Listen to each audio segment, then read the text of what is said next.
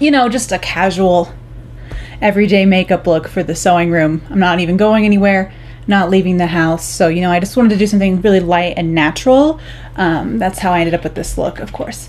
Um, anyway, uh, hello. Welcome back to the Closet Historian and back to my sewing room and to my summer sewing series here on the channel.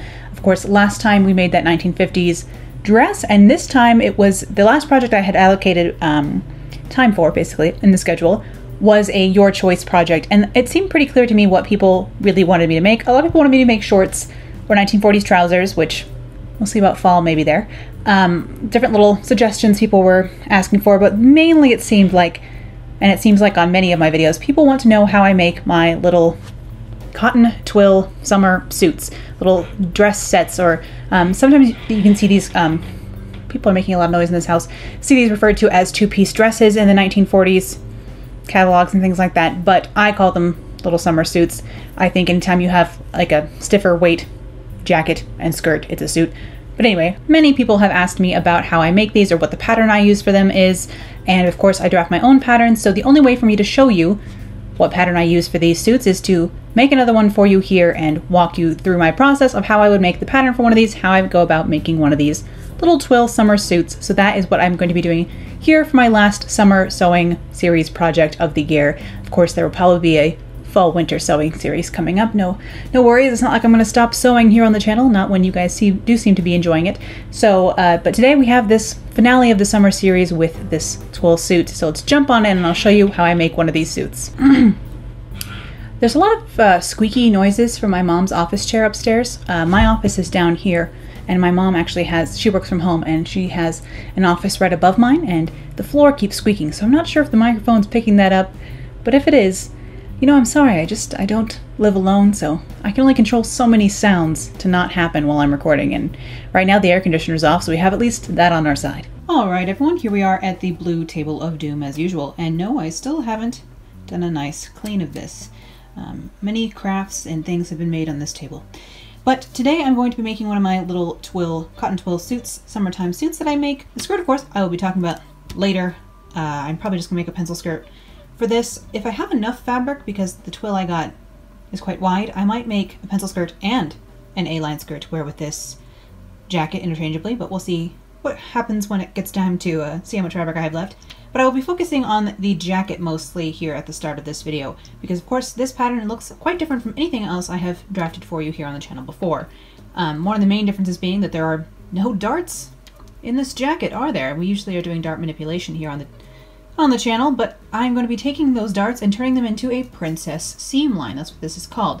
You will often see an armhole princess, which is when this line, instead of coming up into the shoulder, comes into the armhole here, but that's just an armhole princess. This is a princess, or I don't know if it's called a shoulder seamed princess seam, or if it's just what a classic pencil, classic pencil, classic princess seam is um, called, or is, whatever.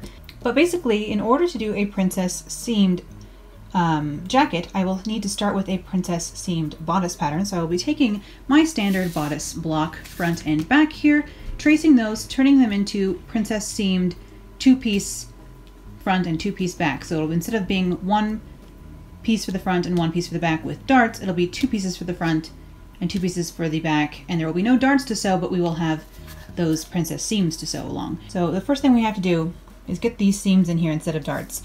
Um, basically, you know, normally the pattern looks like this, and we're going to put a seam down the center, and that is where the fullness will be controlled instead of in darts. So first things first, I'm going to go ahead and trace a copy of each my front and back, and we will start with the front, of course. Okay, so what I have done here is I've just traced the front bodice pattern, and then I have drawn in the darts. Um, I just went ahead and marked in the center of my shoulder seam here, between the neck and the um, shoulder point, I guess this is what this is called. I just put a little mark in the center there. That's where my princess seam is going to begin. And then of course it's going to come down through the apex and using these two darts, we will still create the shape that we want for the bodice, even though we're turning this into a princess seam. So I have uh, drawn my darts in, and then I've just gone through the center of those darts to find the apex again. Remember, this is this like the center, like bust point, basically, that where everything radiates out from when you're doing pattern drafting for the front here. Just because, you know, ladies got curves, you got to work around them. Um, well, not, not just ladies. People have curves. Um, then I am taking from one dart point and connecting that into the apex here. So this is where the dart ends if you were to sew it. But when we're doing pattern manipulation, we extend the darts all the way to the apex. So I'm just going to go ahead and take from the dart point to the apex and then do the same with this side as well. Now I'm going to be taking a, uh, drawing a line from here down to the apex as well. Now I don't have this process memorized because I don't actually do princess seams very often. Um, I don't have a princess seam base block even that, I mean, it would be nice to have one cut out of card and just kept on hand for doing any princess seamed garments, but I just don't make them very often, other than these little jackets, I suppose. But I haven't made one of these even in a couple of years, so uh, we'll see how I do. But I do have my pattern drafting book open for reference here. So this is the method that is in this book, Patternmaking for Fashion Design by Helen Joseph Armstrong. This is the book that I used in uh, fashion school in college. Both of the, I'm not sure actually Colorado State University uses this book, but Woodbury University, which is where I did my freshman year of design school, um, in Burbank, California. They gave us this book as our textbook, and so I've been using it ever since then, back in 20, 2009 when I got this. Um, so this is the, you know, system I'm showing you today. I feel a little bit like I'm plagiarizing, but, you know, I'm just walking you through. People do recipes all the time. This is a recipe for a pattern, right? Um, anyway, so I've marked from that midpoint up here down to my apex, and then as Helen Joseph Armstrong instructs us, I have marked up two inches and then uh, up from the apex and then two inches down from the apex along this line here and then three quarters of an inch in on this dart as well. I don't uh, really know why because the book says so. Um, that usually is good enough for me. I trust these people to know what they're talking about. So now what I'm going to do is go ahead and cut this out and then slash all the lines I need to slash and then I will show you and talk about that. Alright, so here's our pattern piece again, just along that long line you know, the line that went up to the apex and then all the way up to the shoulder here. Separate that piece out. This is going to be your center front piece of your front bodice here. And then this guy, the side front, now it is the side front, um, we have a few things to do here. So over here, we came in that three quarters of an inch and now they kind of skipped this step, but you want to redraw that line down to that point instead, instead of all the way to the apex. Now we're going to be using this as the pivot point for where we are going to get rid of this side dart. Um, the way we are going to get rid of this side dart and still have the amount of fullness we need in the bust is that you cut in from this side, slash that guy, to the point, the new little pivot point, and we go slash in from the side dart into that new pivot point too. So normally we're pivoting from the apex, but now we're coming in this three quarters of an inch. Again, I don't know why, because they say so. And, you know, when the fashion gods say something, you just you just believe them. So now we have that I have that cut all the way to that point so I can pivot this. As usual, I'm just going to close my dart here. So I will go ahead and I will tape this shut and then cut off the excess that sticks out into the armhole and stuff like that. All right, so I just have that side dart taped closed now, which opened this little bit of fullness here. And then we have this other dart to contend with. Now, because you're gonna be sewing this here along to where you cut the front piece here, Basically, you can just remove this dart and it will be created by the seam lines or the style lines of the new bodice pattern. Um, so this will be sewn, you know, along here, and this will be sewn along there. So that's what creates the cone for the bust, of course. Um, so what I'm going to do here on this side front piece is I'm just going to go ahead and slice this dart right off of there. I'm going to move this center front part of the bodice up here out of our way for now. So I just go, went ahead and cut that dart off of there. Oop, goodbye. Um, so I'm going to put some extra paper on here and then I will show you what we're going to do to curve the bust over here and kind of finesse that area. It may, this is one of those patterns where because you're doing so much change to the bodice, although you know that the two dart version fits you, I would definitely cut out a muslin of your new one and make any changes you need to to your princess bodice pattern first before you even try and make like one of the little jackets that we're making or make a dress or anything out of this pattern. This is one of those things where it's a big enough modification that I definitely think you need to make a mock-up or a muslin with your new bodice pattern once you're done, but I'll get to that in a minute. I'm gonna go ahead and tape on some extra extra paper here. All right, so imagine this is where our dart was down here, and up here at the bust, they recommend, the book, you know, the authority here, recommend coming out 1 16th of an inch along this top above the bust. I don't really exactly know why, but once again, if that's what they say to do, that's what I'm going to do. Um, and then you're just gonna, it just says, let me see, shape, bust, curve. So, you know, so much guidance going on there. So we're just going to go ahead and draw a, a, curve in this edge here using that, just coming down um, a tiny, tiny bit to encompass this 16th of an inch and then just curve this area here. It actually recommends coming in a little bit along here if you want something to be like super fitted under the bust. Um, I don't really want to do that with mine just because I don't really want uh, this to be like a skin tight like second skin princess but if that's something that you're interested in for a princess, seam dress or something like that um, or having your princess seam be quite fitted you can curve down from here and then come in like a 16th of an inch down on this side to like scoop out this area a little bit. Um, as you can see in the drawing here they come in like one eighth of an inch and it's scooped out um, there to really follow the line of the body. But I don't necessarily like things to look that fitted for me um, so I'm not going to do that. I'm just going to keep this a straight line here and then I will curve this bust area over up into here. I'll draw that line. So as the book suggested, I have uh, shaped the bust curve and it just says blend. So I've just kind of blended this area into a smooth curve. Now you may need to take this to be less curved. You may need it to be more curved. These are things you're going to find out once you have completed this pattern, cut out a muslin, and tried it on and see what it's doing at the bust and you will see if you need to make any changes to this bust point area, but I've just blended it, curved it, as the book suggests, uh, so so loosely suggests to me to do. I just basically blended that in there using that extra 16th of an inch that it asked me to include. And then so I will just go ahead and uh, I taped on this extra just so you could see where the dart was. But I'm just going to go ahead and remove this and then just cut this little piece and then I will have my side front done. So here I have my side front and my center front of my new princess seamed bodice pattern. As you can see, essentially what we have here is this is where that dart was.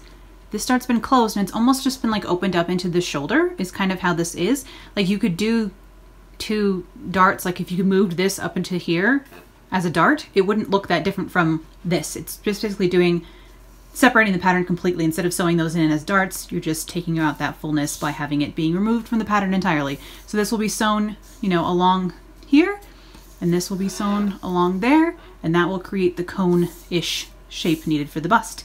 Um, now the reason that we drew these little lines in is you can see like that is supposed to match up here at this little line and this is supposed to match up here. Now I never really use, um, which you can see that line got lost here so I'll have to find it. I'll have to find it again on this mark. That's why maybe you should draw those lines longer than I did I suppose. I will go ahead and take the piece that I cut off of here. Here it is. Um, and then find where that line was right here, looks like. So go ahead and move that line onto over here. So I just know where these pieces are supposed to match up when they're being sewn later. I don't normally use notches or marks like that because I'm, everyone, I always say it on this channel, lazy.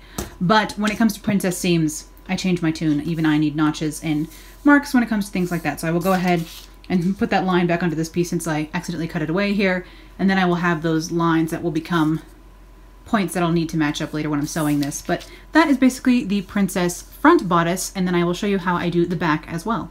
All right, so for the back, I've gone ahead and traced that and marked the dart as well, just like I did for the front. Of course, you do want to mark the actual center back on here as well, because I have an extension on my card version for, because I'm usually doing a center back zipper and things, I just have three fourths of an inch on my pattern, my like block pattern. But of course, for this eventually, I will be not having a seam in the back because it'll be a jacket eventually.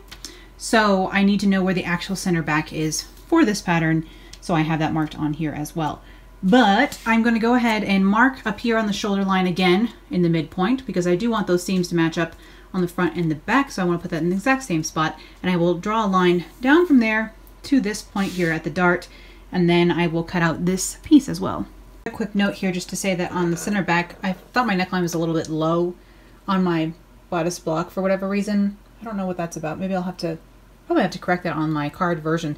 But I just came up like another three quarters of an inch on the center back line here and just smoothed that in um, because I don't want this to dip down in the back at all when it becomes a jacket later. So I am already thinking about using this princess seamed pattern to make a jacket pattern so technically I could leave this modification off of this block princess version, but uh, just something, if I forget to mention it later, I did raise the back neck a little bit because I obviously want it to lie differently than I would maybe on a dress. Doesn't matter if it's nice rounded in the back, but I kind of want it to be higher up on my neck for a jacket. So I did go ahead and cut this back piece out. I did just cut it along the center back.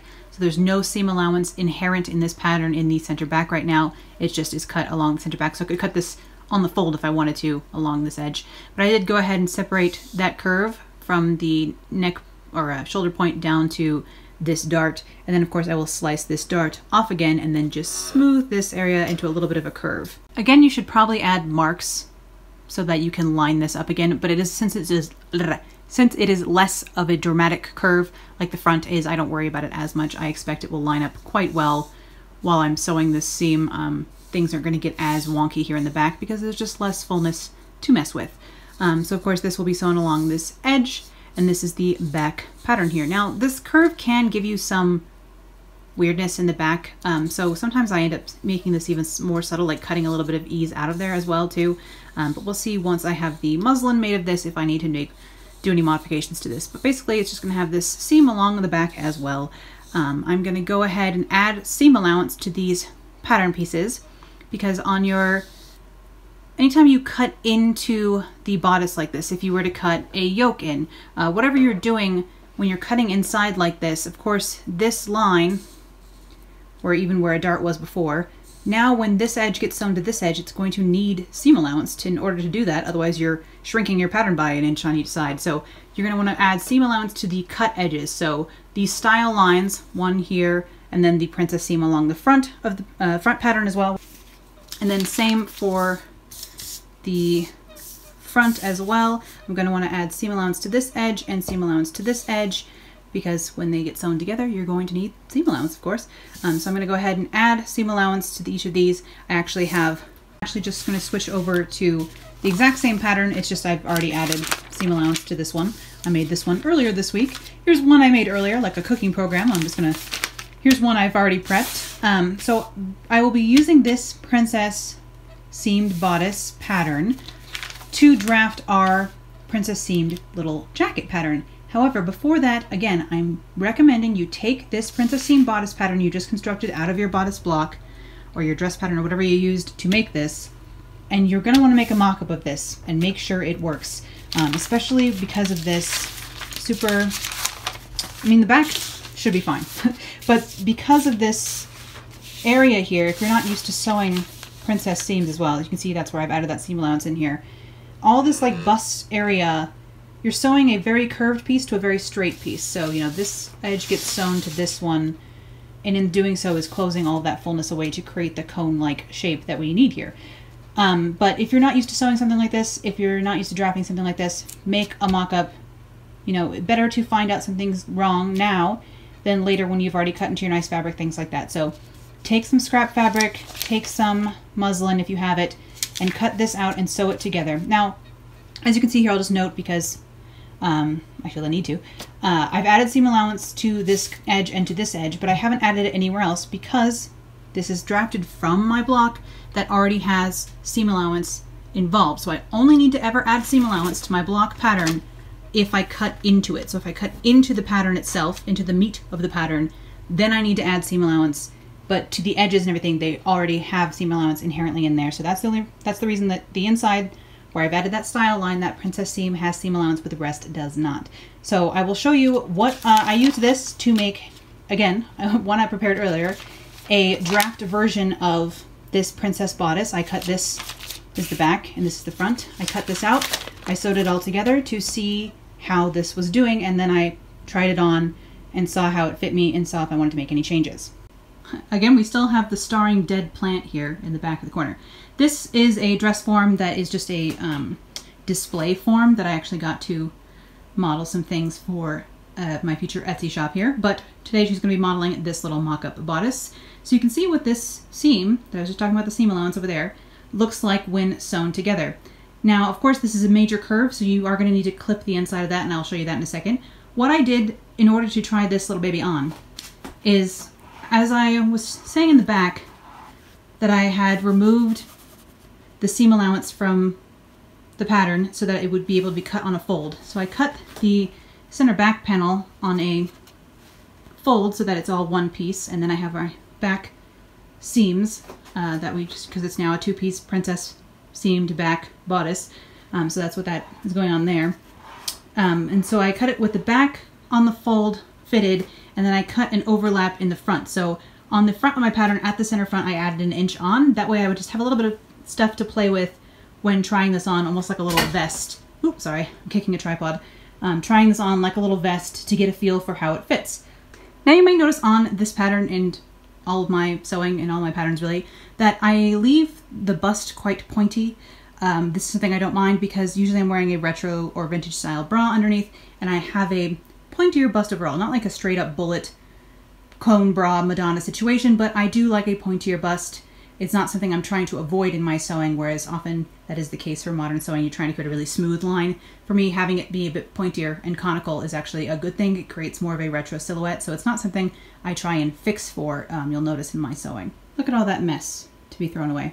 But looking at it here from the side, again, that's how that seam looks once it's sewn together. You are looking here to make sure that this isn't like doing any weird curves. Of course, this bust, um, this dress form does not have a double D, so again, it doesn't fit her as well as it does me. But when you have it tried on, try it on with the bra that you plan on wearing the garment with as well, so you can get a good feel for how it's going to fit you and how you want it to fit you. If this is too pointy, there are fixes for that. I will try and include links in the description for fitting a princess seam because it's not something I have to do, I've had to do much myself, um, and this one fit me fine, so I don't really have any fixes to show you. But if you are having trouble getting your princess seam to lie nicely over the bust, I will try and include some links in the description of this video for troubleshooting that area. Um, and look at all the mess that you don't see behind the camera. Oh my, oh my goodness. But in general, this is the muslin of the pattern that we just drafted from the basic bodice block. This hypothetically should fit you just as well as your basic bodice block does. That's why we use that fitted pattern, that block pattern that we know fits to draft everything else because then we know unless something disastrous happens, it will fit. But with something this much change going on, I always like to make a muslin. This is made out of a thicker cotton twill, which is not ideal muslin fabric, but it is the fabric I will be using to make these jackets. So I wanted to make sure it worked in the cotton twill. And since I had some lying around, that's what I used to make this. Um, and I will go ahead now, and we're gonna obviously add on an extension here so that this has a little bit, not like of a peplum, but more of a jacket so it doesn't end at the waist here. Um, talk about that front extension, talk about adding any ease if you want to, and make this into a jacket pattern as opposed to just a princess seamed bodice pattern, which is what this is now. You could use this to make a dress or a little vest like this if you wanted to. Um, you now have a princess seamed dress bodice in your collection. All right, so back here on the drafting table, we're gonna start making some decisions about our little jacket here. So I have my center front piece of the bodice. This table is squeaking so much. Um, so that's going to be the center front piece of our bodice pattern we just drafted. That's what we're going to turn into this piece. This side piece is going to be this guy. Um, so we already have this princess line, but our pattern here only goes this far. Um, so basically we have a lot of this going on, but this only goes to the waist. So we're going to create a little bit of an extension coming down here so that we can have the rest of the jacket basically. So obviously it kicks out here at the waist. So we're going to do that to our pattern here. Add that on. And then we obviously have the turnbacks, the collar up here. This doesn't have a collar in the back at all. It just uh, is the front of this. If you imagine this piece, if you were to turn this, like you were to fold this like so, it becomes a little collar on the top. So I'll decide once I have the muslin of this actually how to do the collar. So I'm not even going to worry about that right now. Um, but I'm just going to show you what I'm going to do to my front two princess bodice pieces to turn them into the front two jacket pieces basically. Beginning with, of course, tracing a copy of each. So I've just traced this guy and traced that one. So now I have a new fresh copy to play with here. So I can draw on this, of course, I drew them too far down, so I had to add an extension of more paper. Silly me. But now I just have those pieces traced. Now, of course, that does, because this one has, because this one has seam allowance, now, of course, my tracing already has seam allowance, so I won't have to worry about adding it. So the first thing I'm going to do here is, of course, this jacket will close here in the front, and how much you want that to overlap um, is going to depend on how much you're going to want to add here. Or if you want to do this as a fold under as opposed to having a separate facing. I'll be doing a separate facing. You can make those decisions here at the overlap. But basically for this, I'm just going to be, this is my center front line here, I'm just going to add on an inch and one eighth. So uh, one and one eighths of an inch. I can talk. Uh, that's what I'm just going to add on for my little spot for the bu buttons to eventually go here. That's just what I'm going to add for now. Um, this I'm going to be making a mock-up of this jacket where I make those kind of final decisions of like what I exactly want this to be later. But for now, to be able to play around with that mock-up, I'm just going to put on one and one eighths of an inch on the front there. Now I have to decide how far down from the waist I want this to come. I'm just going to start out with five inches. And of course, again, during the mock-up phase of this, I will decide if I want it to be longer or shorter. This is one of those things where it's just a more complex pattern, so I'm going to be making a mock-up. I even have the muslin sitting right there to make to make one. Um, so in order to do that, I kind of have to decide a few things. Like here, I want this area. If you imagine this is the, uh, I'm trying to explain this. So the seam, so the seam going down the front of the bodice here on each side is our princess seam, is these two edges here. And now if I wanted to add like a little like peplumy flare or a pleat or something in here, I would add that between these two pieces. So I would make this flare out quite a lot so that when, so when it was sewn together, it would like pucker out from the jacket like so. Um, I want this to be rather flat, so I'm going to keep these rather straight. I'm just going to have them extend just a tiny bit out, flare just a tiny bit because I don't want it to like peek out from the waist. I'll show you all this when we have the muslin. Um, I just want it to be rather flat. And then here at the side seam, however, of the whole thing, I wouldn't mind a little bit of extra flare here. So I will go ahead and kick this out quite a lot here and then just round this edge. But to start with, I'm gonna start here at the center front, measure down five inches, mark that, um, and just kind of true a line five inches out from the center front, um, 90 degrees out from that to get an idea. And I will go ahead and do, I guess I'll true down from here five inches as well so we can get a five inch kind of block down from that as well, just to get an idea of what the under waist part of the jacket fronts will look like. So over here on the center front piece, I've just, where the waist is on our original bodice pattern, I've just trued uh, the center front area down farther and marked it five inches down from the end of the waist on the bodice pattern. So this is five inches down, and then I just 90 degreed out from there, and we will decide how much flare to put in here. But on, on the side, I just wanted to show you, this is the side seam of my jacket pattern. So that means this point right here translates to this point right here. So if I were to come straight down, I'm sure my hurt, my hips are in here, you know? So I'm trying to allocate for my hips because uh, I'm actually quite a hourglass shaped person. So depending on how, you know, the angle of your, if you're rather a more straight person, you wouldn't have to worry about having a lot of flare here. But I'm going to go ahead and allocate for quite a lot of flare because I have quite a lot of hip. Um, so I'm going to come out, I don't know, maybe like 45 degrees from, like if I were to true down, this would be 45 degrees, I guess. Kind of obtuse from up here, but like smaller here. So 90 degrees would be too much. You know, that would be like if your if your jacket did that. um, so you're just going to want to split the difference. So at 45 basically is kind of where I'm going to come down.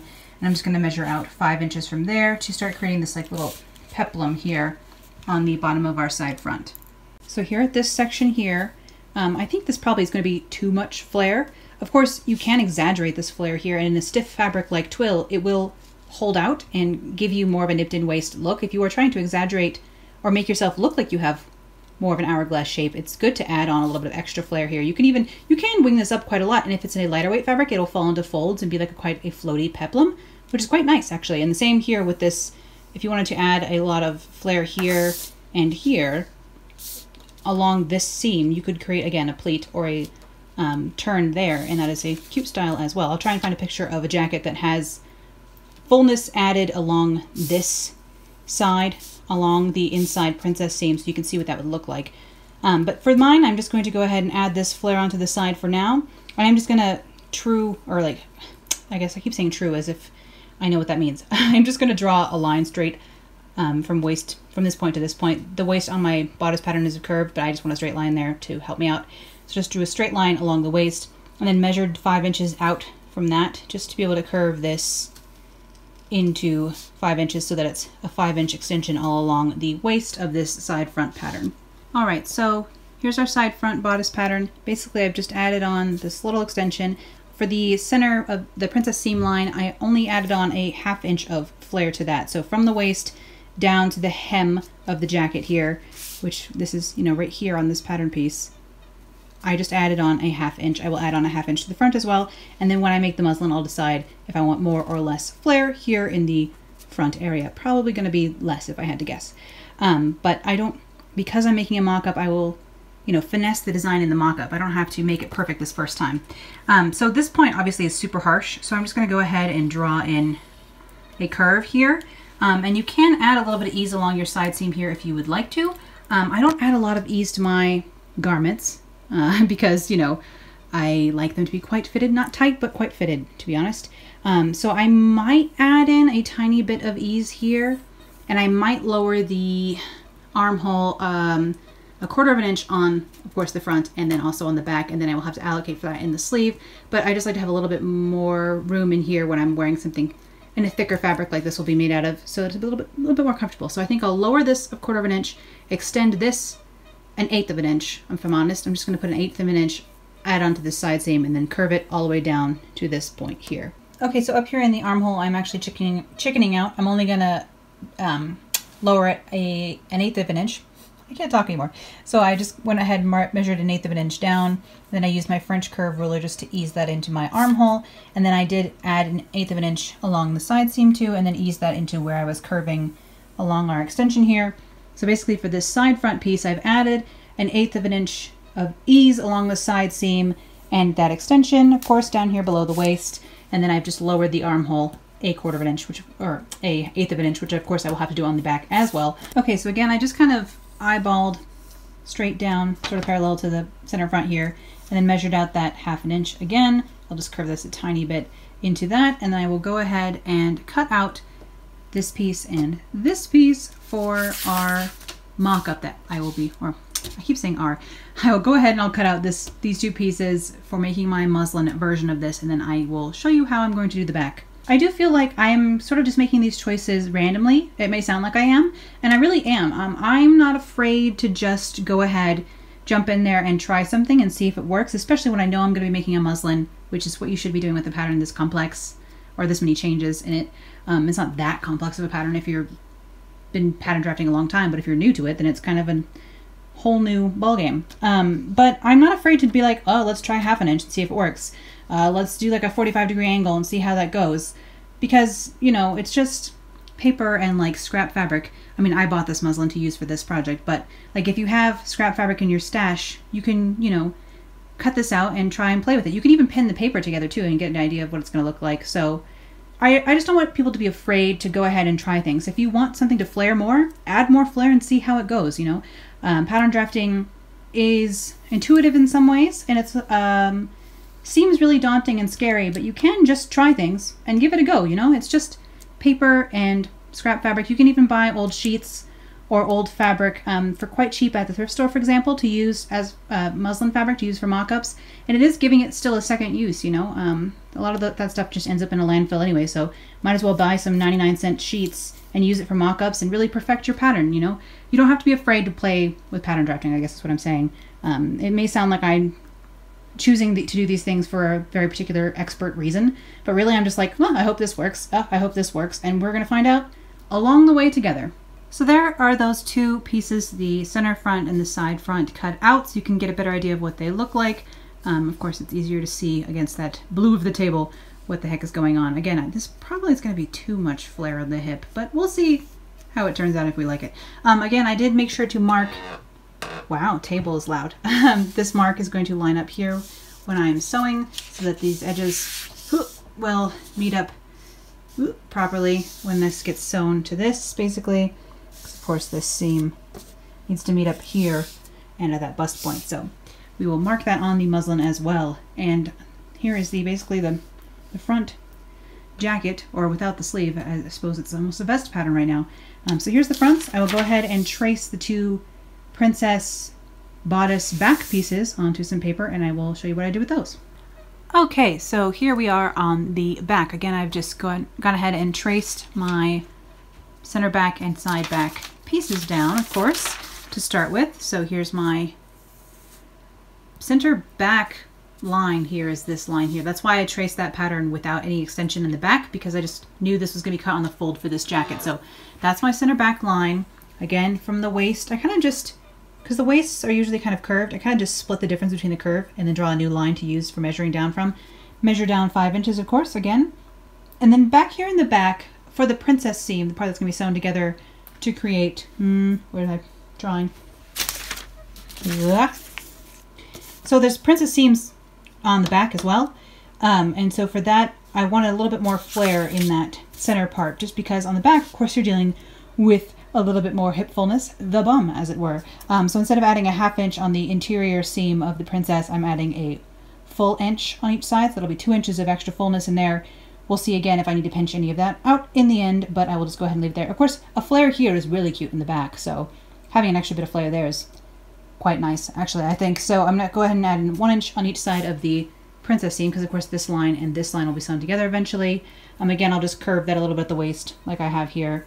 Just curve those into each other a little bit there. And then for the side back, I again have added an eighth of an inch along the side seam here and brought that armhole down an eighth of an inch again here to match the front. And then to find the swing of the back here, I went ahead and I grabbed my side front piece, lined it up along the side seam, and then just sketched this. As you can see, it comes off the end a tiny bit here. So I just went and traced that curve from the front to the back because, of course, these I need to match up. Ooh, I just got a low battery announcement. I don't know if it will affect the video. Um, but I, of course, need this on the front and the back to match up, so it's good to just trace it. And then I just, of course, curve the bottom in as well. Again, just keeping that like 5-inch extension. So go ahead and cut out the two back pieces as well, and then I can cut out these things in muslin so we can start getting an idea of how this is going to look. Cut out the center back and the side back pieces, and I just wanted to tape them together to show you what that little bit of flare does. So if you imagine this, this is the waist, and this is where your bum will be, or in the end mine will be. Um, so you can see adding that little one inch bit of flare means that when these are sewn together, there's a certain amount of flare from the jacket. Um, we are flat patterning a three-dimensional thing here um, in so many ways. So just to show you what that little bit of flare will do along that seam, it creates this much flare out from the waist. So again, I might end up taking some of this flare out because I don't have that much. I'm curvaceous, but not that curvaceous. Um, and the same is true of the sides. So this much flare on the both the front and the back probably will be too much at the side. But that's okay, you know? We're figuring out as I go here. It's a bit of trial and error when I'm making this pattern, um, just because I haven't made this one in a while and I forget, you know, what I did originally when I made this kind of pattern years ago. So I'm just going to figure it out anew with you guys. But here's my two back pieces. I will untape that and then I will go ahead and cut out um, probably, yeah, I'll cut out the full jacket or vest as it is right now out of muslin, sew it together and show you what that looks like on the form and show you the kind of modifications I'm going to make after trying that on basically. All right, so I've got all my pieces cut out in muslin now. Oops, sorry about the shaky camera here. Um, so here's my side fronts. And actually I just left, um, if you notice this matches up here, I just left the extra selvage and extra fabric to work with here on the center front because that is where I will be deciding where how much collar fold over I want and things like that that I'll be drawing directly onto the muslin while wearing it um, or while pinning it onto the form or whatever. So I just left me I left me some extra. I left myself some extra there, but I did go ahead and mark where the center front is on the pattern piece with tailor's chalk. I also did mark in those bits that are supposed to line up here on the bust. I should have another one down here, but I forgot along the way and hopefully it'll all work out. Um, but you should do that second one that I showed you way in the beginning as well, if you can. All right, I said I wasn't going to talk about sewing the mock-up, but I do want to mention something. Um, of course, because there are curves here, I just want to mention that you do need to clip these curves if you want this seam to lie flat, of course. This is the um, along the bust of the center, or um, the side front and the front, basically, is what this curve is here. So I'm just going to go ahead and clip into this curve, of course, and then also down in the curve at the waist here, just so that it will lie properly and I can um, press that seam open so we can get a good idea of what this actually looks like. Because of course on the real thing we will be cutting the curves or clipping the curves as you always must do in life.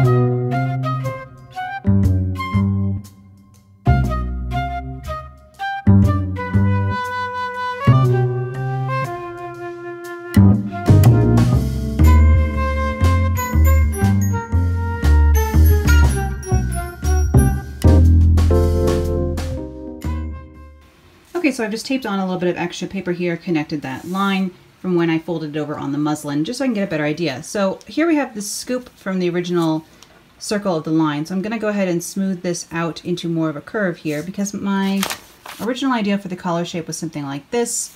Um, and so if you imagine this is the collar, this would come down, you know, quite straight here and then the loop over here. Um, I'm not sure if I will still do this collar shape because I quite liked this one. So I might follow this sh original shape of the bodice quite closely actually and see what that looks like. So I think I will just straighten out a little bit from here, round this corner, add a little bit of roundness here, and then ease back into this point. So with just exaggerating the shape that the natural pattern had here, I've just rounded off the top here, added about like maybe an inch here at the front of this, and curved it down here. And I will cut along this line and fold it along there so you can see what the collar will look like. Um, this pattern piece has a bit of an opposite shape. Or, I mean, this drawing has a little bit of an opposite shape, the original drawing. In this drawing, to do it like this, I would draw it with the curve further down, like so. But I think I, I liked this shape on me, so I think I'm going to go with this shape here. Just another thing that I just discovered during the muslin um, phase of this which is a good reason, you know, to make mock-ups along the way and decide what you like on your shape and on your figure or for this project for, you know, maybe maybe next time I'll do this collar shape, but this time I think I'm going to go with this. So I'll go ahead and cut that out and you can get a better idea of what that's going to look like. Okay, so here this is with that cut out, and of course it just folds along here, and that will be where our, or where my collar is. Um, if you imagine, you know, again, on the other side, this is the center front and um, along here is my actual center front line, and that's where my buttons will be. And this extension, of course, will be a half inch less once a facing is sewn onto here, but that facing will cover this whole area as well. So it'll be half inch less of a collar out here as well, which is part of the reason I added so much here and added so much up here is because I quite liked this collar shape and I will lose a half inch to seam allowance when I do this area anyway. So um, it's good to have that in mind when you're drawing your collar shape because if you want it, this might look a little bit exaggerated, but it's actually not because we're losing a half inch along this edge once that facing is sewn in. So I'm imagining my seam allowances, because I know my pattern has seam allowance already attached, anything I draw on that is also expected to encompass the same allowance as well. So here's my little collar shape that I've drawn on. Now I'm gonna go ahead and come down here and I'm gonna add a little bit of fullness here along the waist, probably like an inch and a half up from the waist point on either end. I'm just gonna add a slip of paper in here, add a little bit of waist here. I'm gonna do the same along the side piece as well. Just add in a quarter of an inch, add in a quarter of an inch for a full half inch here, half inch on the other side, add in an inch of waist, or an inch of waist ease onto the front just in these two seams. And then on the side here, I'm actually going to add another little bit as well, probably 3 sixteenths of an inch along the side waist as well. And then of course I am going to come in that 3 quarters of an inch that I pinched out on the um, muslin here. So it doesn't need to be quite as flared at the end here. So I am going to add a little bit at the waist, but then ease it into less flare down here. All right, so here on my center front panel, I've just gone ahead and taped on a bit of extra paper here. That's why I keep all these messy scraps over here to use. And then I've just added a fourth of an inch here at the very tip of the waist and then ease that up into this rest of this line and then ease the rest down to this point down here. Now you could ease it in less, um, but I like to ease it in quite well so that this line stays nice and smooth. Um, and I could use a little bit of extra fullness here too. It was about perfect, but in a muslin, of course, this is a very thin, very like not stretchable. It's not a stretchy fabric by any means. It's a plain weave um, cotton, so it doesn't have any stretch to it. But because it's a thinner, not super close weave, there is a little bit more movability in this than there will be in my twill. So I wanted to add just a tiny bit of ease over that center front side seam or front panel side princess seam, whatever that would be called. Uh, I wanted to add just a little bit of ease through that again too, so I will just do that here I will do the same to this side. It's possible that this is too much. Again, once I finesse this pattern again and play with all these little edits, I will be cutting out another muslin and trying it again. So yeah, I made this one. That's our first round one. I will edit the pattern based off what I learned from this. And then I will cut out another muslin and make sure everything is the way I want it before I cut into my actual fashion fabric because I do not want to mess up my fashion fabric. I'd rather get all kinks out of the pattern during doing muslins. So I'm going to go ahead and do this same kind of modification to this side as well. I have already done it over here, just added a little bit and ease that into the waist. Again, this part up here I thought was good, had ease um, enough ease that I liked, but down here I just did want a little bit more, so I added again, probably 3 16ths of an inch, almost a fourth, to the very side um, waist and then ease that into my original curve. Again, originally this did fling out a little bit more down here, and I did take that in a little bit there as well. So the thing about drafting a princess seam is that when you are opening up, when we originally did the princess bodice modification, bodice seam, the princess seam modification to our front bodice pattern, which is what this is here.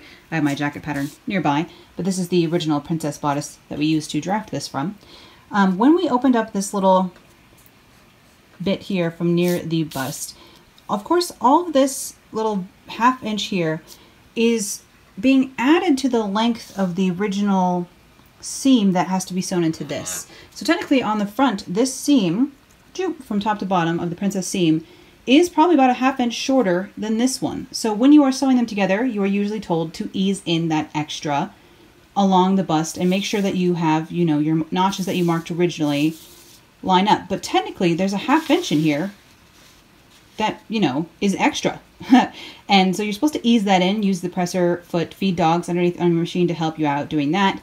And you can, it's definitely possible, but for a perfectly smooth line here, I have heard rumor aka I looked it up on the internet, that you should probably just lengthen this piece a little bit at that mark. So what I've done here is these little crosshairs are actually left over from when I was marking the apex on my original pattern here before I did this modification. So if I center out here and here, this is where this should meet, or where it met originally. Hopefully some of this makes sense to you guys. Maybe if you watch this twice, uh, you might be able to follow, because I, I, it's kind of confusing, especially because I'm jumping back to the princess pattern after we already started working on the jacket pattern. I know. Um, but like this line here, I think that's where I will cut straight across and I will separate and add, I'm going to add a quarter of an inch into my pattern. Um, so I'm going to mark these same markings onto my jacket pattern and then pull this at this point. I'm going to pull it a quarter of an inch apart and just lengthen this front pattern, which sounds crazy to me, but I'm just going to try it for this next muslin. And if the next muslin looks like crap, then I will undo this. It's really easy to undo, you know, just take apart that and tape it back together. So I'm going to go ahead and make that modification to this front piece here on my jacket pattern. I'm going to go ahead and make the same markings over here so I know where to cut. Cut this across between my two notches at the bust, so along here, and add in a quarter of an inch and just try it and see if I like it. All right, this is my, uh, those are the front pieces now. I'm done playing around with those for now for this round. Uh, this is my center back piece here. I am just going to go ahead and again add a quarter of an inch here at the waist and ease that in for a little bit of extra ease.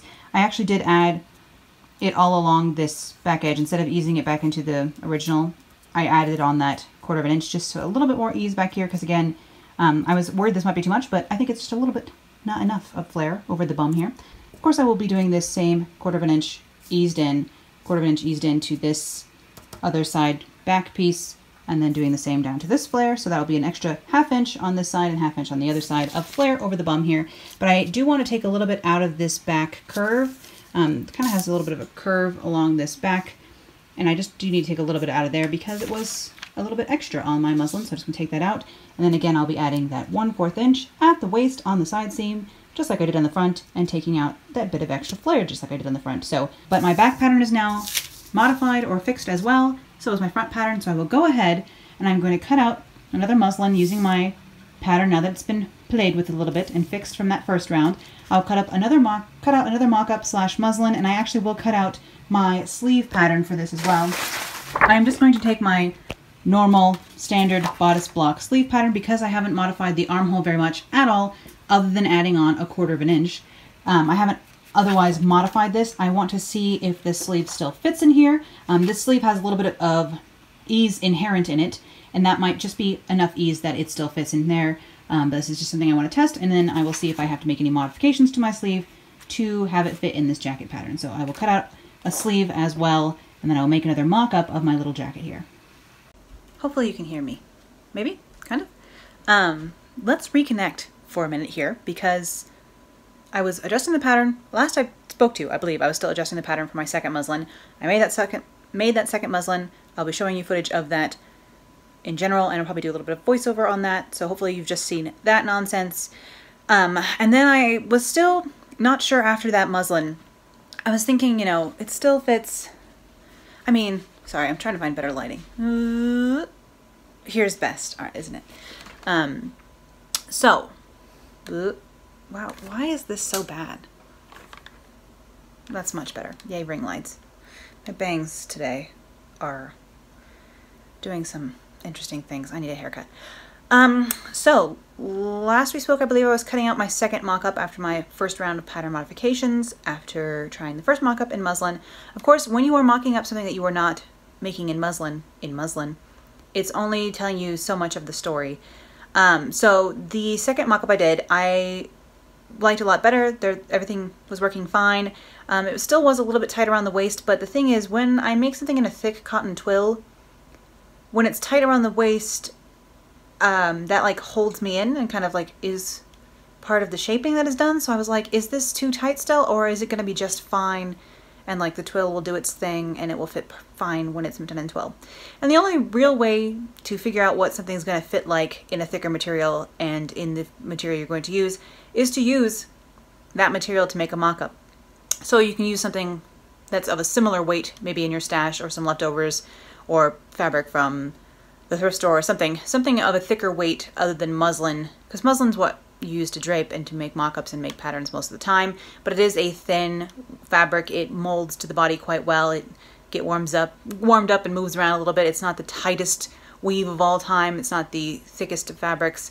So it only can tell you so much of the story, especially when doing something like a jacket like this and not lining the muslin and things like that. So after my second muslin, I decided to make a couple more little modifications to the pattern, mostly just adding a little bit more ease at the princess seam in the front, um, where I had I had added a quarter inch to the side, but then not at the hem of that point, but I did add it in there, um, and just for a little bit more fullness there.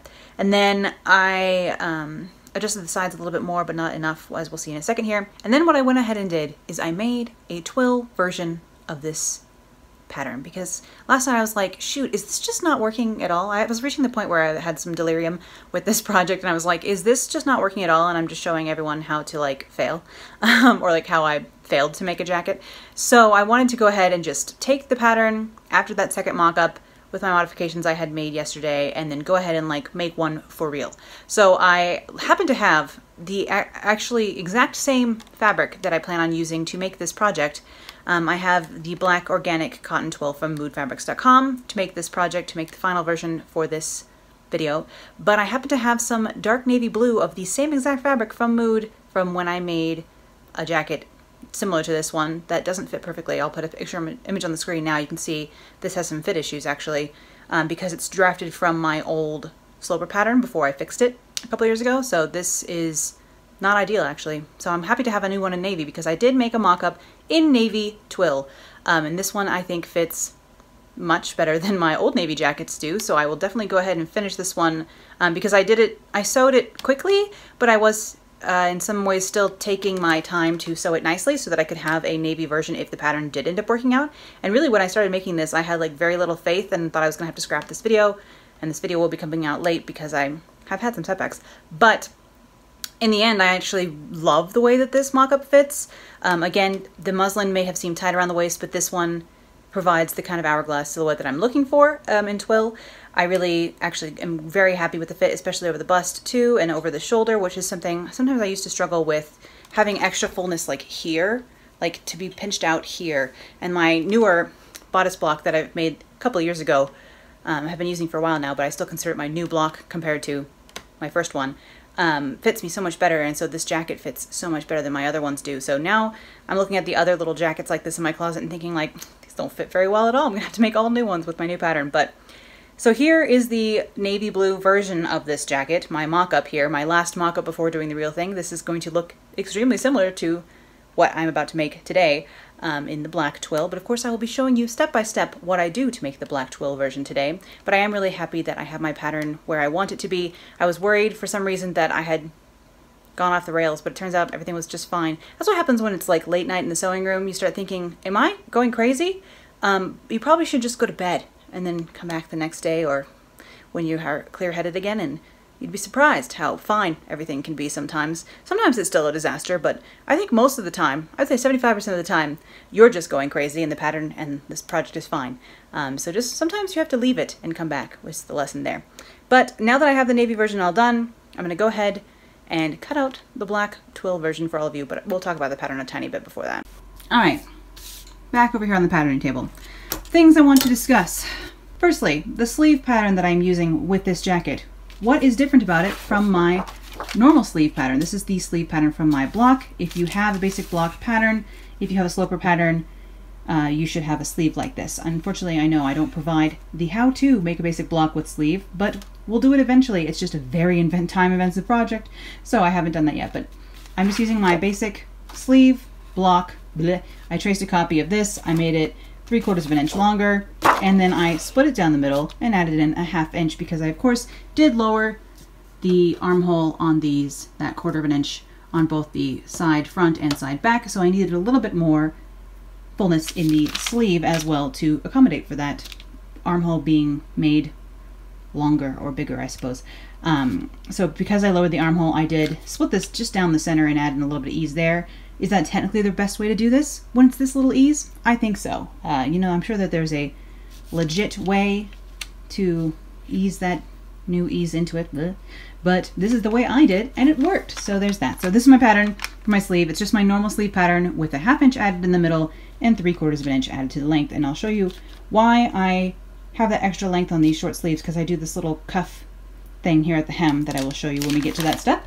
So that is the sleeve pattern since I didn't really talk about that before.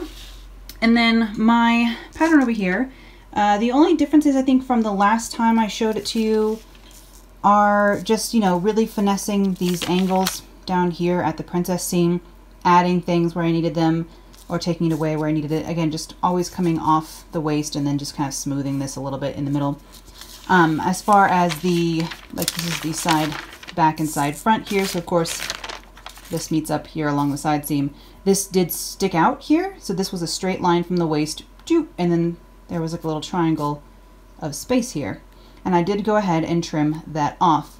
Um, just kind of, it needed to come out a little bit here for the fullness of my hips, but I didn't want it to quite stick out as much. Um, on the navy twill one, it does still stick out quite a lot here, which is fine. It's nice to have flare. In fact, again, if you wanted to make it fully flare and have like a flounce here, you could. But I just wanted it to be more, be a bit more fitted, so I just went ahead and cut off those little triangles that came from going straight down from the waist I just go ahead, went ahead and trimmed those down another half inch after trying on the twill version and being able to pinch out a little bit more of the side here. I just went ahead and took it off of my pattern as well. So those are my side pieces. Then I have my princess jacket back. This is the center back piece here. And all I did here was I actually did just add a little bit down so that the jacket dipped down a little bit further and rounded a little bit more around the back. So I kept this the same because of course it needs to match up, you know, with our friend, its friend beside um, the other princess bodice piece for the back. But then I did just dip down probably an inch here at the center back, um, making sure that I kept this at the very edge 90 degrees so that I don't have to worry about anything funky with it when I'm cutting it out. But um, I just added that so that the back of the jacket would be a little bit more curved. And then here in the front, I guess this is where I made the most changes. I did end up keeping, I remember I feel like I talked about this, um, just because this line on the front side piece where this dart was closed, it did open up about a half inch, adding a half inch to the seam length. So I went ahead and added a quarter of an inch to this piece, because normally you're told to just ease all that ease in, ease all that ease in. Well, seriously, to coax all that ease into this length, which even though this seam edge is longer than this one, it will coax into it. But I had seen that for the smoothest possible line, just add um, that fullness into this piece too. So I went ahead and added that quarter inch and I liked the way that came out, so I will be keeping that. The other thing I did was I just folded, as you can see, this is just, this is how my pattern was. I just folded this up for that little um, shape on the front of the jacket, because it, uh, you know, if I had it coming down straight, that's and smooth, it would be rounded in front, but I just wanted those little notches in front, like, because it's cute, mostly. so I went ahead and just um, lower than the waist, because I will have a button at the very waist point, which helps keep the like silhouette that I like. So lower than the waist, because that's where a button and buttonhole will go, but just lower than that, I just went ahead and folded a part of it up. Again, keeping a little bit of space here at the princess seam so that I don't have to worry about anything with that. But I just folded up this bit and kind of chose randomly an angle that I, I liked to create this little effect here. And then for the like edge here that hangs over, like again, if you imagine on this drawing, on anytime you have a buttoned thing, there still is a center front, you know, line here. Boop. That is where like the buttons hypothetically should line up in the buttonholes along your center front. And then you have this certain amount of overlap here. Um, so on my pattern, this is my center front line here. I had added one and one eighth of an inch of overlap. And in fact, I liked that one and one eighth of inch of overlap. And so in order to keep it after sewing, I needed to add half inch seam allowance. If I wanted it to finish along this line, I needed seam allowance after that. So I added a half inch seam allowance to the front of my jacket here before I folded this. So half inch all along the front so that it would finish along that one one um, eighth.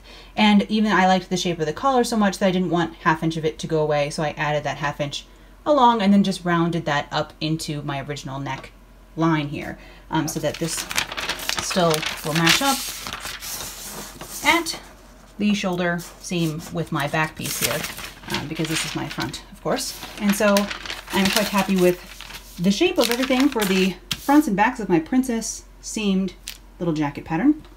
And then, of course, in order to finish all these edges somehow, the way I normally do this on these little cotton jackets, because they are just made, you know, for summer little cotton jackets, I pre-wash my fabric so I can throw these in the wash. It's meant to be like a kind of a smart look that you can wear in the heat, kind of. Um, so it's meant to be washable. You know, it's not super fancy. You can fully line yours if you want, but I usually use facings. So that's what I have done here is I had made, have made facing patterns. Now, of course, on our front piece here, this folds over. So I need my facing to include this side of the collar. So you can actually make you can actually make these facings in a contrasting color if you would like, so that like if you were to look inside the jacket, it would be red here, which means that your collar will then be red against a black, blue, whatever jack color jacket. Um, so you can actually do these as contrast to make your lapels. I think that's called a lapel, right? I'm losing my mind. lapels a different shade than your jacket itself, and then you could do matching cuffs or things like that. It'd be super cute. Matching buttons with that. But I'm just gonna be using the same fabric, so I just made a all little uh, all-encompassing facing here. Just doing my regular two and a half inches, and then I just encompassed all of this collar area and all of this like overlap button and buttonhole area, all of this angle that I included, and then a little bit of an extension down here over the princess seam. And then the way I will finish the rest of this hem, because that comes to about here, right? The rest of the hem of the jacket I will do with a um, bias tape, or a cotton bias tape really. So there's that, and then um, up here at the neckline I attached to a facing, just using a normal like little facing that I traced on the back here to finish the back neckline. And so that is my front facing and my back facing. Again, I just, you know, I try and keep my facings two and a half inches wide. Um, and then for this one, it's a little bit bigger and larger to encompass that entire, you know, you want to be a little bit, it's kind of like two and a half inches past the fold over because that facing of course will show on the jacket here. Um, so you want it to still lay nice and flat. Ironing it, it will lay nice and flat. So should be fine in the end. So that is how I usually finish these and how I will be finishing this black jacket we'll be making today. So I have my pattern all ready to go. Crazy, wild. So I'm gonna go ahead and put my pattern onto my nice black twill and cut this all out and then I will talk to you again.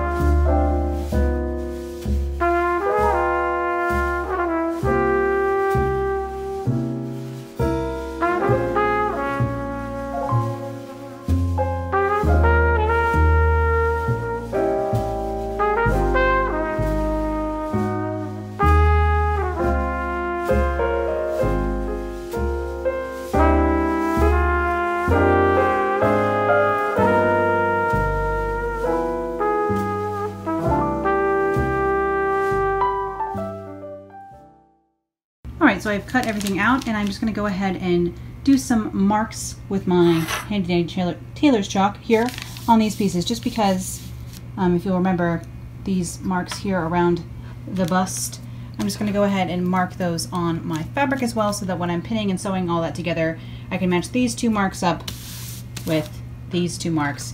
So when I pin these two pieces together, I will pin those spots first and ease any of, there's still, still a little bit of extra in this zone that is a little bit longer. Like from here to here, this curve is longer than from here to here. So I still do have to ease a little bit of this bust into this straight line of the front here. So I just want to make sure I match up those points so that the rest of the front's princess line seam stays the way it's supposed to and that this section is where that ease gets contained.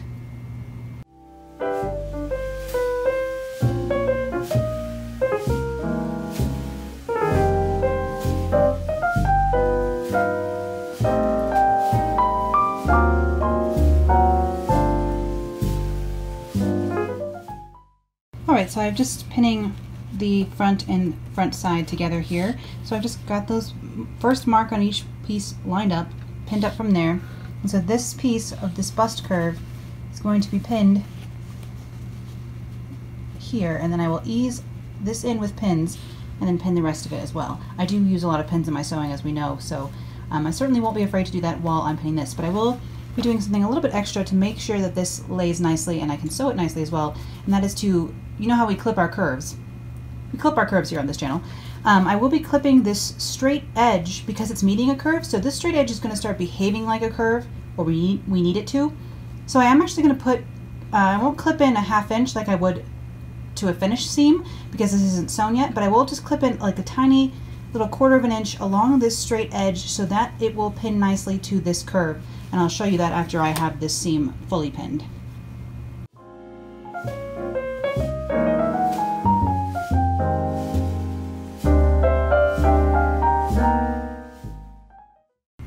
So hopefully you can see on this black fabric, but I have just cut little tiny um, like marks every half inch or so along the straight edge, the front, this piece, the front piece of the um, princess seam. In between these lines, basically I've cut in about a quarter of an inch uh, every half inch along here to make it sit along this curve nicely here. Um, and I will actually sew it from this end down, even though my pins are on the other side for this most of this section. I will sew it with the curved side underneath, and that will just help that stay smooth and then allow me to have control over this on the top side. A lot of times I think you are recommended to do this the other way. I'm not sure, um, but that's just, this is how I sew my princess seams. This is how I've noticed in doing these mini mock-ups, it works best for me. So that's what I'm gonna do with this. I'm gonna sew it with this side facing the machine and then the straight front piece on the top here and so I can just keep control over that area while I'm sewing it on the machine. So I'm going to go ahead and pin this other side as well. I have already pinned my princess seams of the back bodice together as well and my facing pieces together there so I will go ahead and sew all that together and then I will show you I will clip these curves for real um, and I'm going to do that in a different way than I normally do so I will show you that as well when we get over onto the ironing board after I sew the fronts princess seams together on the front and the princess seams together on the back, so, uh, sleeve side seams and the facings together.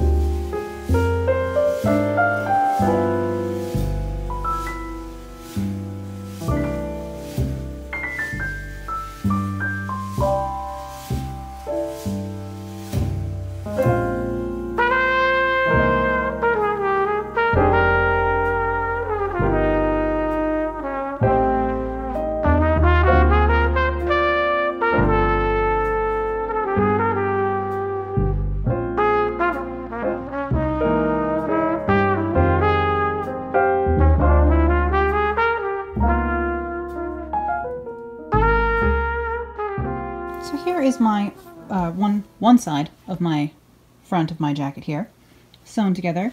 And along this seam um, of course this is where I had originally cut small notches in here.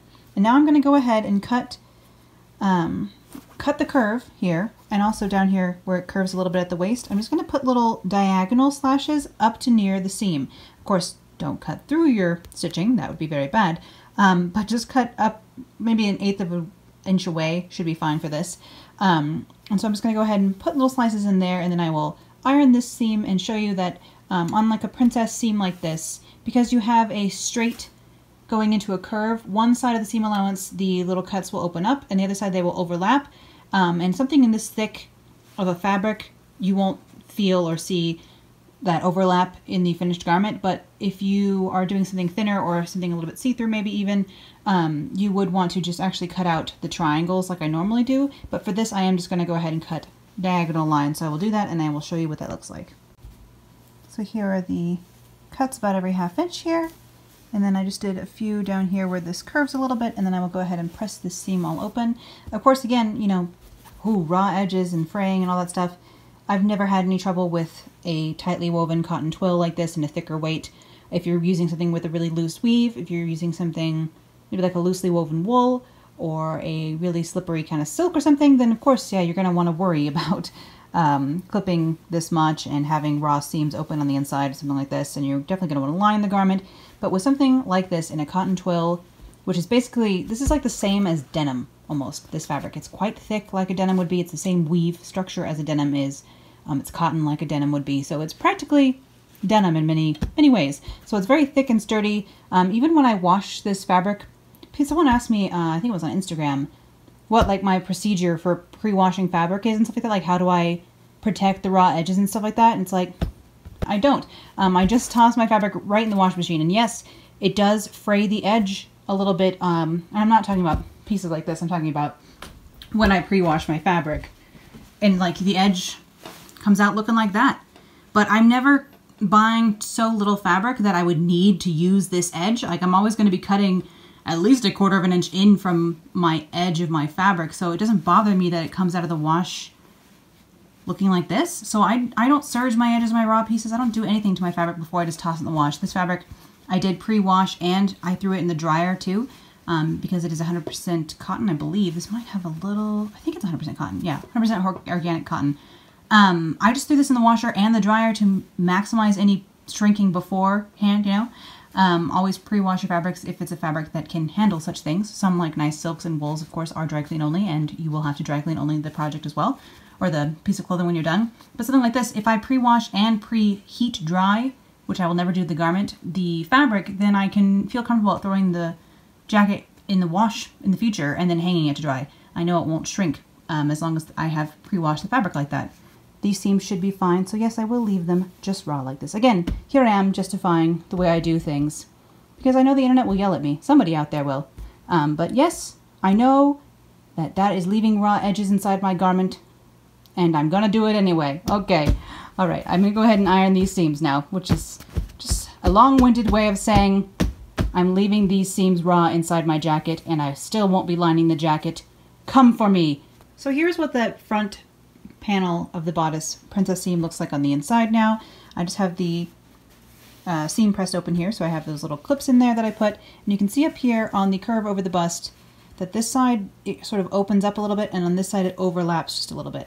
Again, you could go ahead and then trim those triangles if you wanted to. I know from making the other mock-up over there that if I leave it, it'll be fine.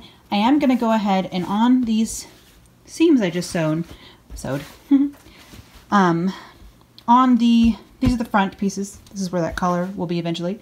So on the fronts and on the back, along the princess seam, I am just going to put some top stitching along on both sides. So I'm just going to go ahead and run that seam through the machine and just use the presser foot to measure that. So I'm just going to use this line is where I will put that seam also on top of the fabric. And then I'll just move my needle over a little bit to just sew next to the seam two lines of top stitching. So I'll show you what that looks like after I've done that to all four of my princess seams. So the two seams down the fronts and the two seams down the back. Oh, wow. The camera is freaking out. So hopefully you can see I've just got, wow, the camera does not like this black fabric. I've just got the two lines of top stitching along my princess seams here. This is the back, so I have my top stitching on both of the princess seams along the back, and I did it, of course, on the front seams as well. So that just helps hold those seams open and flat, which is nice for the smoothness factor of this jacket. Um, it also does add a little bit of stability in there after I harped on about how, yes, I'm leaving these raw edges. Um, well, maybe I, maybe I cut that out. I possibly I cut out where I was trying to defend myself for leaving these raw edges inside this jacket without lining it. But you know what? It's my jacket. I'll decide if I'm going to leave raw edges in it, and I am. Um, so I have my fronts top stitched. I have my back top stitched. I can go ahead and now sew my fronts to my back of my. There's the back again. Um, sew my fronts down along the side seams, and then I will go ahead and top stitch these side seams as well.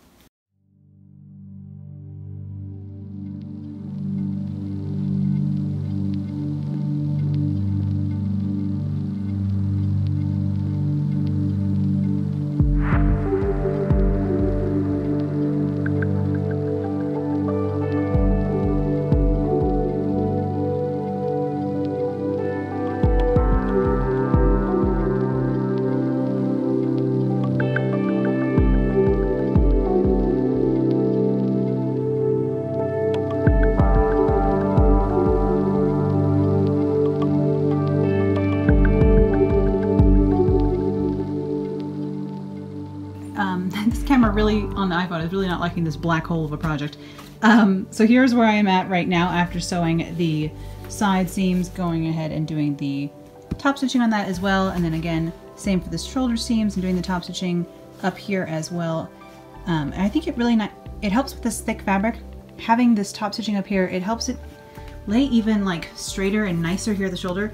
I've got the facing on this one pinned underneath, but um, I didn't top stitch this one, but it really helps it stay nice and straight up here on the shoulder, even without a shoulder pad in it.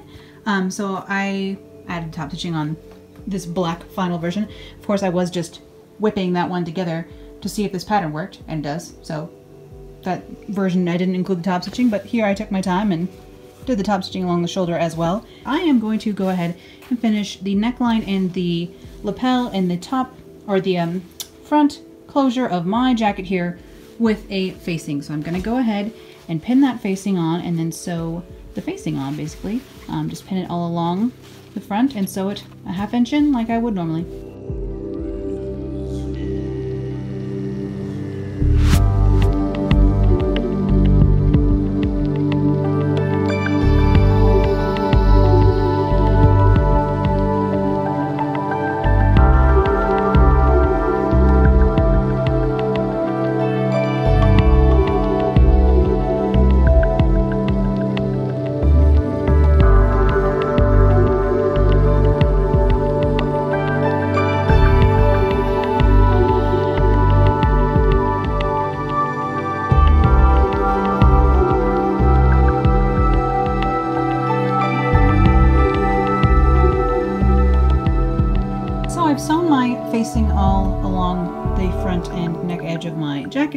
I did just leave a little bit of playroom at the very end of the facing so that when I finish this edge, rest of this hem with bias tape, I can really get this nice and smooth on the inside.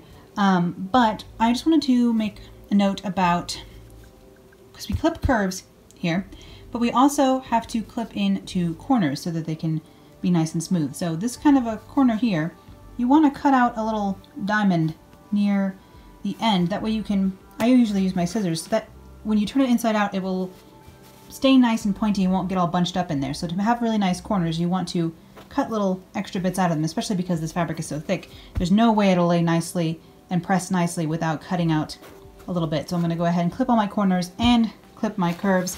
I'm going to go ahead and snip out like you normally see me do along the over the bust, I just did diagonal cuts and I didn't mind that one side of that fabric overlapped in here, as we can see on these. So one side of this, the fabric is creating little open areas and one side it is overlapping basically. Um, but for, so over the bust, I don't really mind that that's the case. But for the collar curve, because I want it to lay nicely, I am going to go ahead and cut out little snips, little triangles from this edge. So I'm going to go ahead and cut, trim this with little triangles. So I'll show you what that looks like after I'm done. All right, so here is the front edge of my jacket. That's where I cut the, the bottom little notchy bit is where I cut out those little diamond shapes so that I can turn those corners. I was saying with my scissors and I realized it, I was, it sounded like I was saying I'm going to cut this with my scissors, which obviously I mean to say I'm going to poke the corner all the way out and uh, nice with my scissors, which I'll show you in a second. Um, then this is the front edge of the jacket.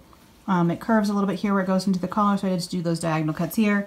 But then along the corner, or the, the curve of the lapel, basically, of the collar turnover, I hope that I'm using the word lapel correctly. For some reason, I'm really second guessing that one today.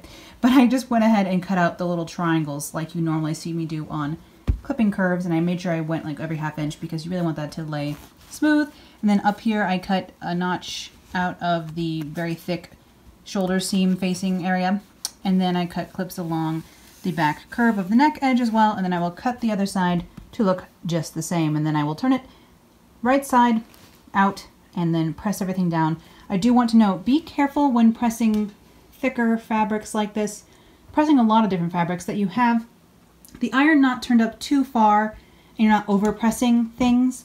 Um, a lot of times I'll use some steam and then just hold things down with my hands even, even though that's hot and I guess I'm impervious to burns at this point. But you can easily get something, like get iron shine on this um, I really try and press from the back while I'm going, like all these seams, everything you've seen me press so far while doing this jacket.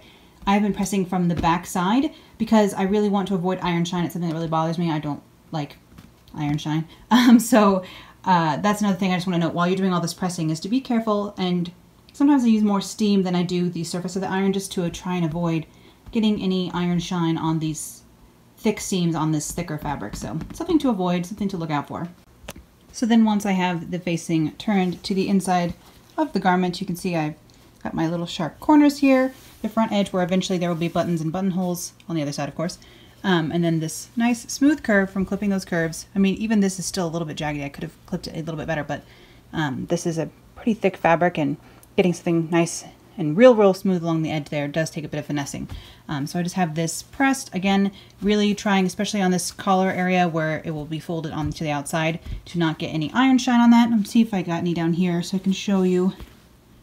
You can see a tiny bit of what I mean by iron shine down here. It just gets this like little effect where it looks over ironed or a little bit burnt. And that's what I'm trying to avoid on most of the jacket here. But of course, this is inside down here and I wasn't taking as much care as I was up here on the collar that will show. So I'm going to go ahead and do the other side, press it all out nice and smooth like that as well, and then we will move on to doing the sleeves here for this little jacket. Here's what we are looking like from the outside as of right now, by the way. So here's my nice little collar finished with the facing. That facing will be held down, of course, by um, the nature of the shape of it, but also by the buttons being sewn through it and the buttonholes being sewn through it as well. So I'm now going to go ahead and work on my sleeves here. I do just have the seam pressed open and then the bottom edge of these serged, and I'm going to actually iron them quite far up and then turn this into a cuff. So I will show you how I do that. So I'm going to go ahead and first iron this about maybe like four inches up maybe three-ish. I, I, don't really know what this is. I usually just eyeball this kind of thing. Uh, I'm sorry. I just, I, I, eyeball, I eyeball quite a lot of things when sewing, um, just having done it through the years. So I don't usually tend to measure what I'm doing my little sleeve cuffs like this, but I'll show you how I got this finish on the edge here and then the inside is just serged. So I'll show you how I do that just now and I'll hem these sleeves first. Then I'm going to put a line of stitching in the top here and a tiny bit of gathering. That's not so that the sleeves will actually be gathered, it's just so that they set into the sleeve really quite nicely and have almost a little slight roll over um, the edge here. Gosh, my camera is freaking out. Um, just a little tiny bit of fullness in the sleeve cap, not actual gathering, but just fullness there so that it looks really nice and finished when it's done. So I'm going to go ahead and turn these up and then I'll show you how I create the cuff out of that first. All right, so I've actually just turned my sleeve hems up about three inches on both of them all the way around. And I'm gonna sew a line of stitching about a quarter of an inch down from the um, serge edge here. I'm gonna sew that down just to keep that all in place and then I'll show you how I create the cuff out of this. Okay, so I went ahead and I sewed, I mean about a half inch down, I guess, from my little serged edge here. So that's what that looks like on the inside. And of course, when turned right side out, that looks like this. Again, you can almost see where that seam is on the inside, which is why I'm getting so cautious when I iron this. It's almost showing it better on camera than it is in person.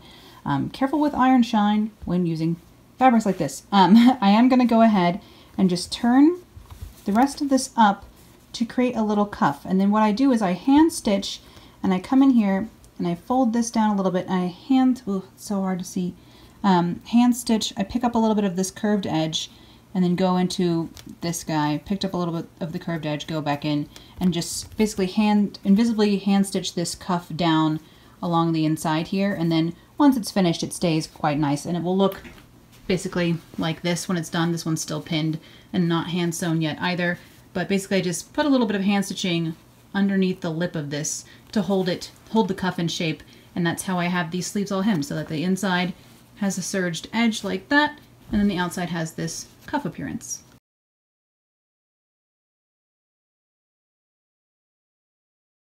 Gosh, filming with black fabric. I'm learning it's such a task. So what I have done to my sleeves here, I have just gone ahead and done that hand sewing so that this is hemmed down. That cuff is all finished now. Um, you can't even see the big stitches because they kind of blend into the serging there. But I've just sewn a line of stitches, stitching using my largest stitch length on my machine, about a quarter inch in, and I'm just using that to gather the top of my sleeve caps just a little. So I just wanted to show you, I'm really just gathering it a tiny bit because I want to set it in smooth, but in order to do so, I'm just curving that top edge of the sleeve cap a tiny bit so that when I sew it in, it looks kind of like this, which is the finished one over here. And this one even needs to be steamed still, but it just has a tiny bit of gathering in there so that the sleeve cap sits really nicely into this, you know, thicker fabric jacket here. So when I'm done, it will look like this. Of course, this one has, again, needs to be steamed. Um, but I will go ahead and sew these black sleeves into my black version of this jacket now. So I have my sleeve all pinned into its little armhole here, right sides together. I'm just going to go ahead and sew that into place and then sew the other one as well, and then I will work on the hem of this jacket.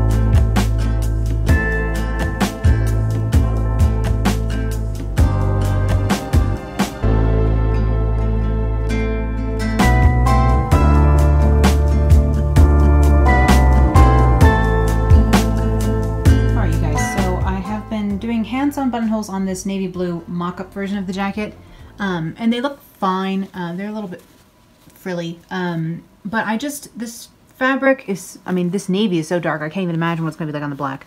Um, the fabric is so dark, and when I use matching thread, I just really can't see what I'm doing, and I'm just kind of getting frustrated with this. I don't know, I've done it before dozens of times, but this time I just don't think I'm in the right headspace to do hand-sewn buttonholes. So I wanted to give it a try on a scrap piece of fabric and see what machine buttonholes look like. So these are my machined buttonholes. Unfortunately, my buttonhole foot doesn't go as long as I originally was going to make these, but these are the buttons I'm using, and they do fit okay through the basically the longest buttonhole my um, machine can make, which I can't show you with my left hand, obviously. Ooh, I promise it slips through there. Um, so, which does still fit my buttons. So um, I think I'm going to go ahead and just use my machine to do the buttonholes on my black jacket. They just are coming out nicer than my hand-done ones. I just can't see, like I want to make the stitches right next to each other when I'm doing them by hand, but I just can't really see what the heck is going on with the black thread and the black fabric once it starts to fray. And ooh, it just, it's just frustrating to me, me today. I think I'm in the, the wrong point of the month to try and do something so frustrating, basically. So I'm going to go ahead and this is just a scrap piece of fabric here with two layers of fabric like the jacket is. So I'm going to go ahead and mark my buttonholes. I'm going to come in three quarters of an inch, mark them just like I did on the uh, mock-up version, and then I'm just going to go ahead and sew those with my machine and then cut them open with a little tiny pair of scissors. This is actually, um, you know, you can pick up these little tiny sewing scissors anywhere, but I actually got these while I was taking a class at Hampton Court Palace with the Royal School of Needlework, which was probably one of the coolest days um, I spent when I was studying abroad in England in 2012, way back when, um, when I was studying in the UK for a semester during university, I took a class with Royal School of Needlework, and I wanted to buy a little memento of the day to remember that by, so I actually bought these at Hampton Court Palace, which I will always know. That's where these little ones came from. So that is an item in my collection of stuff that actually does have a story with it. Look at that. Amazing.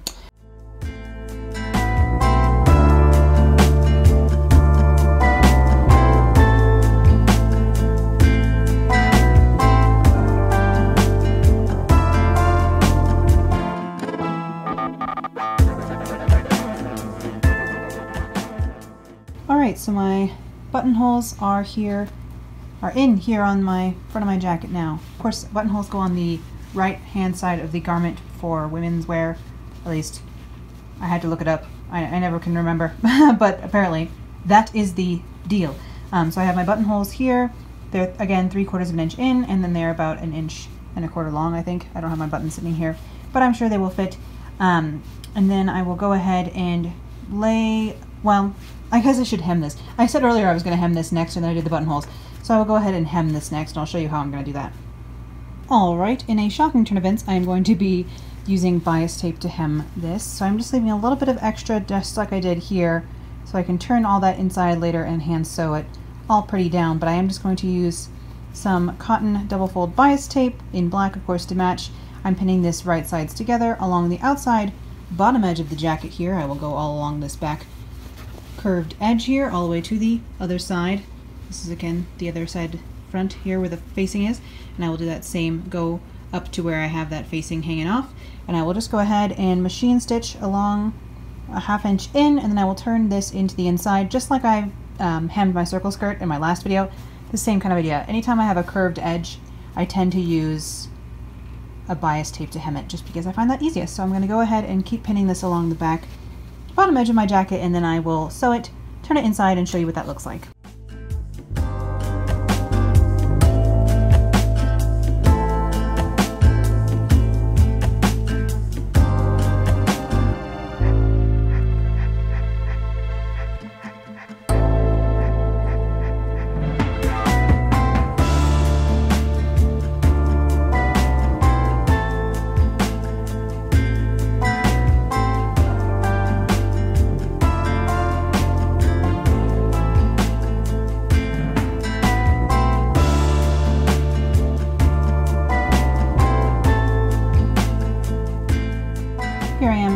Inside of the jacket now. You can see the end of that facing here. I just have that facing come down and then where I have sewn my nose is being my voice is being very nasally. So I sewed the bias tape along this bottom hem edge.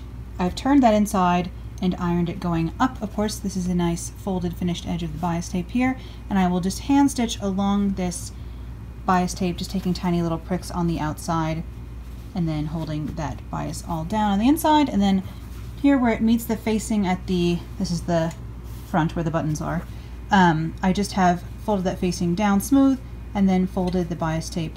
So it's a nice little finished edge there. If I wanted to be really particular about it I could make it like match that edge but I don't really care what the inside of my garments look like as long as it's finished enough. It's only going to be me who knows? Well and you now I suppose um, what the inside looks like as versus the outside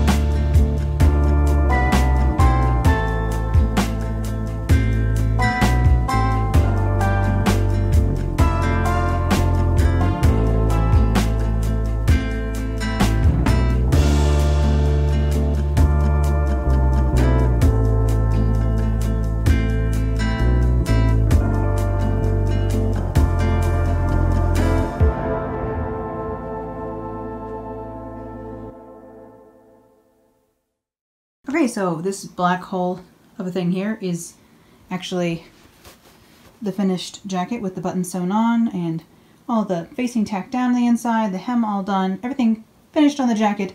But now, of course, it wouldn't be a suit if I didn't have a matching skirt. So I'm going to go ahead and I'm going to make... Ooh, sorry about the shaky cam. So I'm just going to take the rest of my twill here and make a pencil skirt using my standard pencil skirt block pattern, my standard pencil skirt pattern that I use all the time. I am not going to show you how to draft a pencil skirt pattern today just because that's rather involved and we already have a lot going on in this video with the jacket. Um, so I'm not going to show you the skirt pattern today. I will be doing a video in the future on how to draft a um, pencil skirt pattern from your measurements or from measurements in a like chart. Um, I'm just not going to be doing that today. So, you know, if you were to be following along, say, which, I mean, do tell me if you do, because I would be surprised. Um, you know, you just find a pencil skirt pattern you like and then make it. um, I'm just going to be doing a single layer skirt out of this same twill with a little waistband and probably a slit in the center back so I can walk. Um, I'm not going to do like a kick pleat or anything in the back. I don't think I'm just going to do a slit because I'm not the layer. I mean, maybe I'll do a kick pleat. should I? No, I want to do a slit. Or should I do a pleat? I can't decide, so we'll see what happens. I'm probably going to show you me making the skirt, but not talk about it very much. Um, even this isn't very interesting, in fact. Talking to you like this while I'm talking to you, as opposed to just showing you black twill in a blown out, not very even very pretty frame or video. Um, the iPhone camera sometimes can't decide if it likes me or not. Man, this sewing room is a mess, huh? Oh well, we will have a, maybe we'll have a cleaning day, or I will at least. But I'm gonna go ahead and make a pencil skirt out of this twill. We'll see how long that takes me. I do also kind of hope I could maybe eke out an A-line skirt out of this fabric too. I don't know how much I have here. Probably not enough to do that. Um, I'm definitely gonna make a pencil skirt and then whatever's left over, I may make a vest using this same pattern and just change the armhole a little bit. Um, or an A-line skirt. So I'm definitely to make a pencil skirt and we'll see how much fabric I have left over if I want to make anything else to go match this jacket, match this sort of set. Of course, I can buy more of this fabric. This is fabric that Mood has in stock all the time and it's just black, so the dye lots shouldn't matter too badly. If I wanted to make some more things out of this fabric in the future, I could add to this set quite easily, I think. But I'm going to go ahead and jump in and start making this pencil skirt, basically.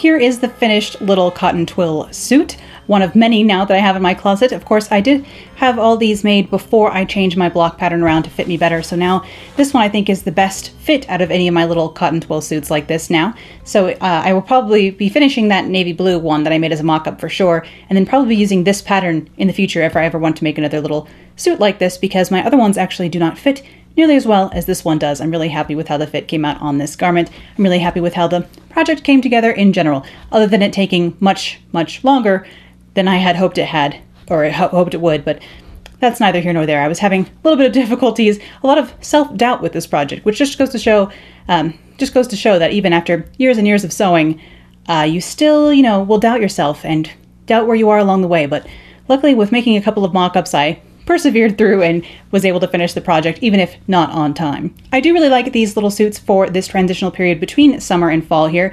They're good because they have that structured uh, look of a suit and have a, like a very crisp, you know, September feel about them, and yet they're still very cool for the summer heat that is still with us, unfortunately, as we finally roll into pumpkin season. And as you can see, I have already decorated behind me. It all started with this little cat I found at Target, and then I was like, well, I can't just put the cat in the background now, can I? So I put some pumpkins out as well. Um, do forgive the wig, also. Uh, speaking of Halloween things, I just didn't feel like doing my hair here. It is actually quite late at night now after having finally finished this project. Hem the pencil skirt basically with my last task there. Um, so I didn't want to have to go upstairs and do my hair after all that, so I just tossed on this wig. I hope you can forgive me um, for looking a little different than usual. But of course, it does create kind of a goth secretary look, which isn't such a bad thing. Do feel free to ask me any questions you may have if I left anything out of the pattern drafting or the sewing of this garment. I do, as always, fear that I have missed something vital in my trying to remember how to film while sewing things, uh, shenanigans with these sorts of projects. So I may have missed something, and if so, please do feel free to ask me in the comments below and I will answer to the best of my ability, of course, and or point you towards a better resource if I know of one. Of course, I'm not I'm an expert in some things, but not in all things, so I will try and point you towards experts if needed. And thus, with this project, my summer sewing series for 2019 is complete. And of course, I'm not going to stop sewing, and I'm not going to stop sewing here on the channel, but uh, we have to start planning fall and winter projects here instead, so do leave me some suggestions in the comments below of things you would like to see me make here on the channel for fall and winter, and I'll go through some of them and see if they line up with some of my own plans, and hopefully we can come to a sort of agreement on what the next few projects may be here on the channel as we move into a new season. And thank you, as always, for tuning in today. I'll see you again soon. Bye.